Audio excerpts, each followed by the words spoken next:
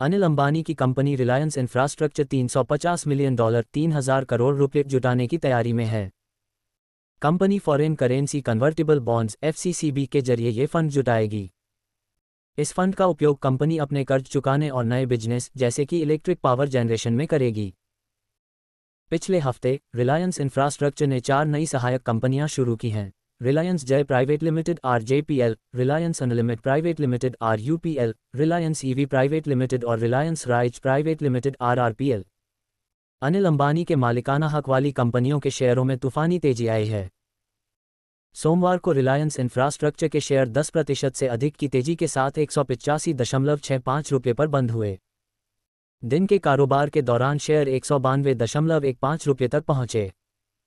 इसके अलावा रिलायंस पावर के शेयर भी चार प्रतिशत से अधिक की तेज़ी के साथ छब्बीस दशमलव शून्य सात रुपये पर बंद हुए।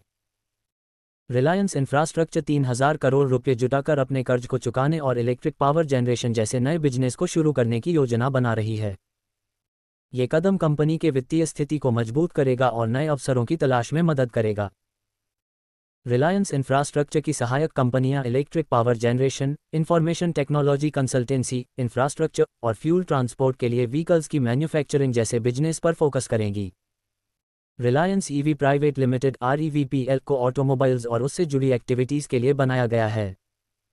कंपनी को मिनिस्ट्री ऑफ़ कॉर्पोरेट अफेयर्स से सर्टिफिकेट ऑफ़ इनकॉर्पोरेशन मिल चुका है। रिलायंस इंफ्रास्ट्रक्चर और रिलायंस पावर के शेयरों में हालिया तेज़ी ने निवेशकों का ध्यान खींचा है। रिलायंस पावर के शेयरों का बावन हफ़्ते का हाई लेवल चौंतीस दशमलव तीन पाँच रुपये है, जबकि लो लेवल तेरह दशमलव आठ शून्य रुपये है।